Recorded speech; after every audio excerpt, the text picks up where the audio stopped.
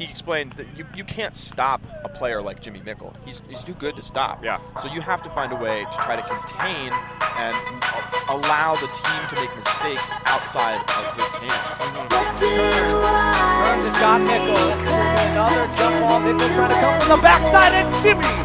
Yeah, yeah, that's Wooten. But Jimmy Mickle.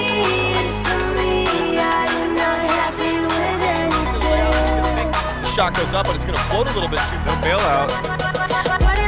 Dump it out.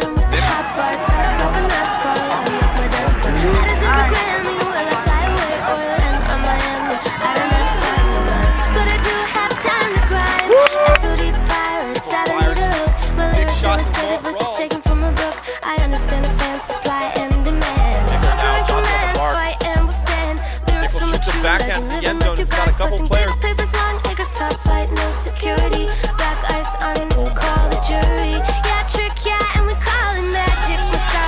looking deep, trying to get it to Mickle in between two defenders, and he's going to get up huge, go over the top, and now he's going to float it out into the end zone. Is there enough room?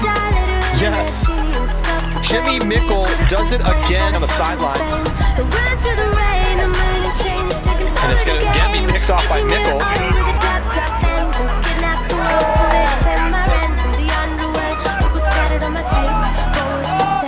I deserve